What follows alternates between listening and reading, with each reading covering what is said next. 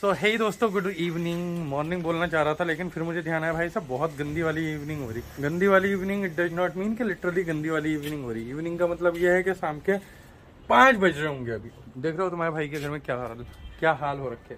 सबको पता है आप लोगों को पता है ना पुताई चल रही। तो आज हमारे किचन की थी तो सारा किचन का सामान सुमून यहाँ फेंका है और कुछ अंदर भी फेंका है मैं दिखाता हूँ आपको। और आज हमारा एक कमरा देख रहे हो भाई साहब? क्योंकि दो कमरों में हो रही है एक दादी वाले कमरे में हो रही है क्या हो रही है। आज हैं। आज हाँ फीलिंग लाइक किराए के कमरे वाले भी अपना कमरा साफ़ सुथरा करे रखते आज हैं हमने शिफ्ट किया है कहाँ पहले आज पहली बार यहाँ शिफ्ट हो रखे ओके एंड हमारा क्यूटी भाई कितने बजे से सो रखा है और ये हमारा पूरा रसोई बन चुका है आज ओके एंड टाइम घड़ी वहाँ पे रहती थी दोस्तों, लेकिन फ़िलहाल के लिए हमने घड़ी को यहाँ चेंज कर रखा। मैं आपको बोल नहीं रहा था पाँच बज रहे, लेकिन पाँच ना बज रहे हैं। जे कितने बज रहे हैं? पौने पाँच को टाइम है प्रिया ने काम कर लो जे, परी के माफ़ी उड़ रही जे। अरे उड़ जाएगी रे। काम कर ले, काम। कल भी। तो दोस्तों, अंदर दिखाते हैं क्या हो रहा। और ये रहा हमारा रसोई। रसोई में मम्मी का ब्लॉग भी बना, देखो भाई साहब। जूना। और मम्मी यहाँ कर रही है सफ़ाई। क्योंकि यहाँ पर जस्ट अभी अभी पुताई हो रखी है तो अब मम्मी थोड़ी सफ़ाई कर रही और वैसे भी दोस्तों, सफ़ाई करने के बाद क्या है, मम्मी ने इसको दो दिन के अंदर गुड़ गोबर कर देना है। दो दिन, चार दिन, पाँच दिन छः दिन दस दिन में तो कन्फर्म है हो ही जाना है। अपने पहले जैसे ये रूप में रंग रूप में आ जाएगी हमारी रसोई। लेकिन फ़िलहाल बड़ी अच्छी लग रही है रंग। और दोस्तों इसमें बहुत ज़्यादा डार्क कलर आ रहा है मेरे मोबाइल में लेकिन रियल में ना बड़ा अच्छा सा थोड़ा सा हरे हरे रंग को लिए हुए नीलापन है। मैं कैसे बताऊँ आपको यार? मैं कैसे दिखाऊँ भाई? आपको दिखा नहीं सकता। तो मतलब मैं जो बताना चाह रहा शायद ही आप लोग समझ रहे होंगे या नहीं समझ रहे होंगे मुझे नहीं पता। एंड अभी दिखाते हैं हम दादी का कमरा। यहाँ। यहाँ कल कूड़ा कबाड़ा रखा था और आज यहाँ सब पुताई वुताई हो गई। तो अभी चल रही है बाहर बाथरूम वगैरह में और यहाँ का कमरा भी फाइनली हो चुका है। ये दोस्तों, ये दीवार भी सफ़ेद नहीं है जैसे मोबाइल में दिख रही है। दीवार बहुत अच्छे रंग की है। अब मैं कैसे दिखाऊँ यार? फिर ये मोबाइल कलर खराब कर दे रहा है। मतलब ये नीले रंग की दीवार है इस पर सफ़ेद सफ़ेद दिख रही मैं कुछ नहीं कर सकता। क्योंकि शायद रोशनी की कमी है, पता नहीं जो भी है, समझ जाओ। और ये तो पर्पल ही है। ये तो पर्पल है।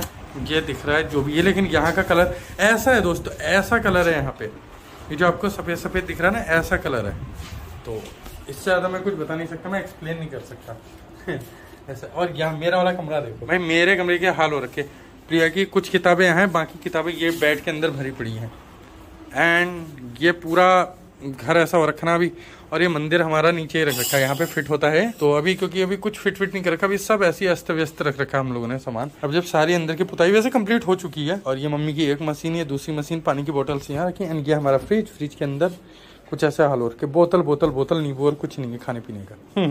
गरीब वाला फ्रिज हो रहा है ओके मैंने दादी का कमरा दिखा दिया मैंने अपना कमरा दिखा दिया। अब मैं तुमको क्या टॉयलेट बाथरूम क्या ही दिखाऊँ? इतने अच्छे हम लोग के होते नहीं है ना टॉयलेट बाथरूम अमीरों वाले जैसे नहीं होते।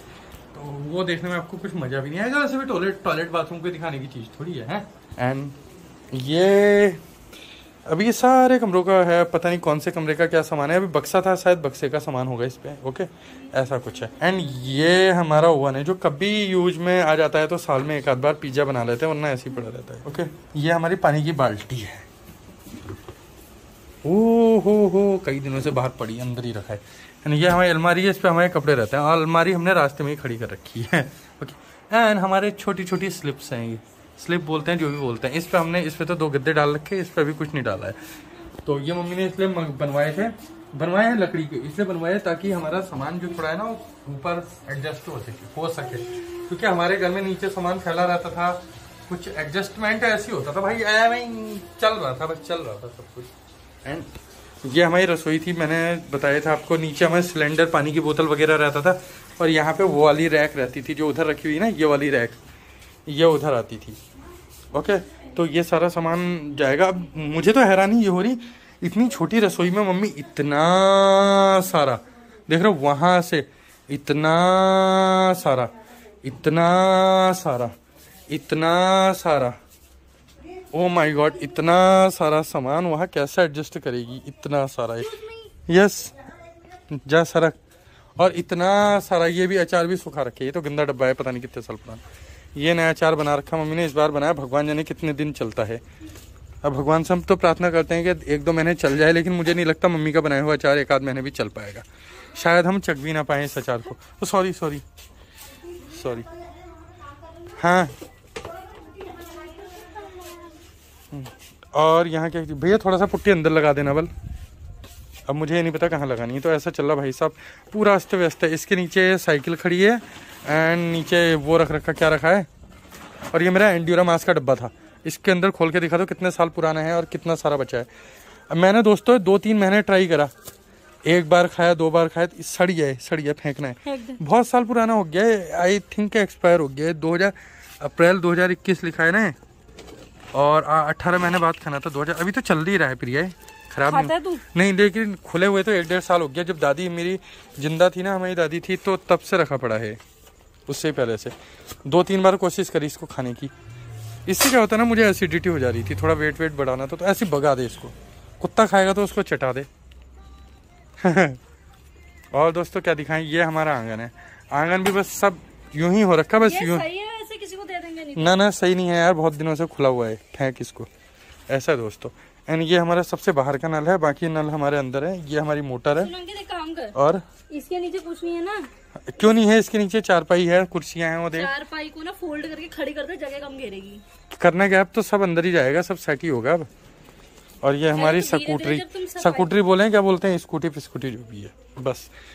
तो ये था हमारा आज का हाउस टूर अब थोड़ा सा बाहर का रह गया, बाहर का कर रहे और यह ये हमारी गली है गैलरी तो वैसे अंदर से भी जा सकते हैं और जाने को बाहर से भी जा सकते हैं। ये ये प्लाई खराब हो गई, ये तखत की प्लाई थी, ये खराब हो चुकी डबल बेड की।